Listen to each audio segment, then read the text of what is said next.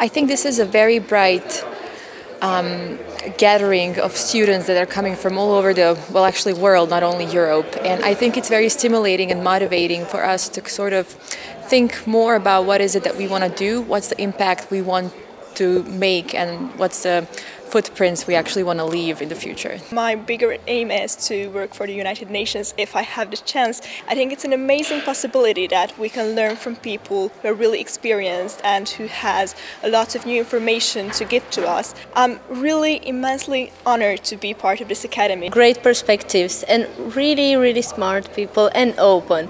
So I'm really happy to to be in such a group it really met my expectations. What I love about this course is the fact that it's it's it, it's far-reaching.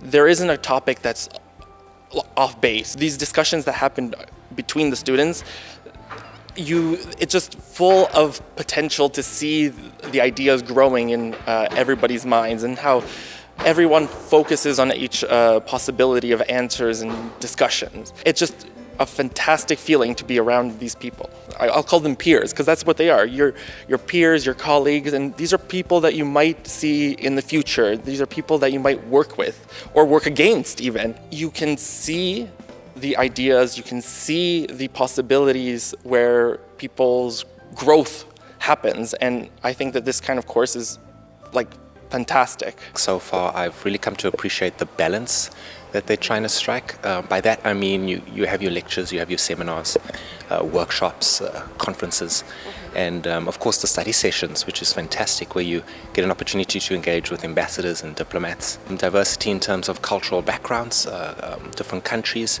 as well as age groups even. You know, I've come across uh, some, some of the older people and some of the younger people, students as well, so there's diversity in terms of um, working uh, sort of careers that people have got going on. Wonderful experience. And also, sometimes some of the challenging topics are treated sensitively and humanly. Most of the speakers and most of the teachers are so empathetic to the situation and they, they put themselves as people who experience these things. And, and I see this place as a web and also as a nursery of future global leaders.